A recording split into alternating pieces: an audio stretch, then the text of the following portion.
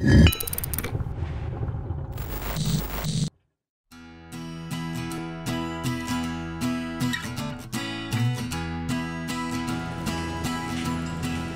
לי שמצאו הרבה גז, שנתנו למישהו להוציא אותו לאדמה, ועכשיו מתווכחים מי ייקח את הפירות. יש אה, בעיה גדולה בגלל שיש מישהו שהוא טייקון גדול ומרכז את הכל ויצא לנו מזה יקר.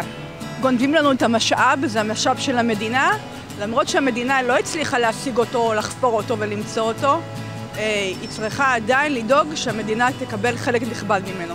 היום אנחנו, אין לנו אלא ללכת הלאה במתווה הנוכחי. משאב של, שייך למדינת ישראל, ותשובה מת, מתעסק בזה כאילו זה משאב שלו.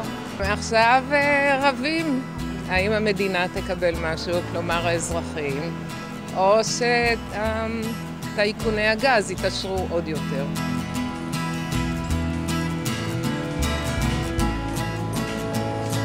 הגז זה אוצרות טבע של המדינה. הוא שייך למדינה. לנו, לא למישהו שיעשה על זה כסף. גז שייך למדינת ישראל. עם ישראל. שייך למדינה. אני חושבת שכל המשאבים שייכים למדינה, קודם כל.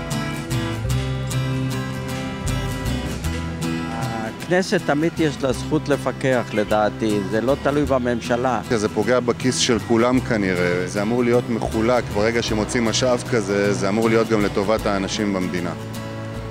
זה, זה דיקטטורה, זה לא דמוקרטיה. זה שלא עשו את זה מספיק שקוף, זה בעיה. זה פוגע בדמוקרטיה.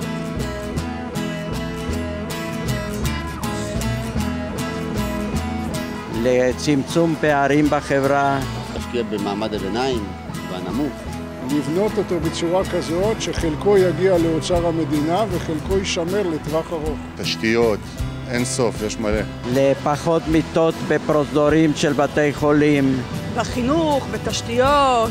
יש נשים בחופשת לידה שהיו שמחות שחופשת לידה בארץ הייתה חצי שנה ולא שלושה חודשים. חינוך, בריאות ותחבורה והורדת מחירים. קצבה זקנה וקצבה ל... לאנשים שעברו את השואה שיכולים לחיות בכבוד. צריך להעלות את רמת החינוך, להוריד את... לבנות בתי ספר. לטובת התושבים, שיהיה לנו יותר טוב.